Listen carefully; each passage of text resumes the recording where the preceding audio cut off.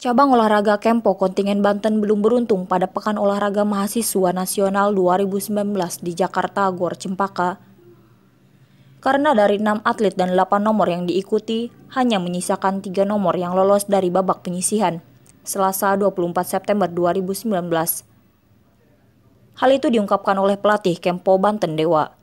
Ia mengatakan pihaknya membawa 6 atlet dari nomor randori putra-putri 3 nomor, Embu pasangan putra Q 1 per 2 1 nomor.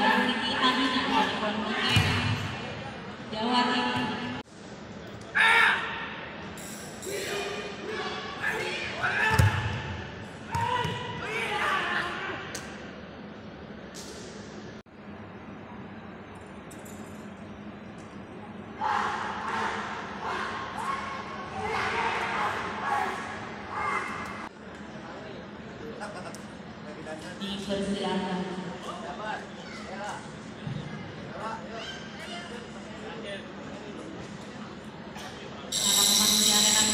Di Gor B, pasangan pertama Aminah Jawa Timur.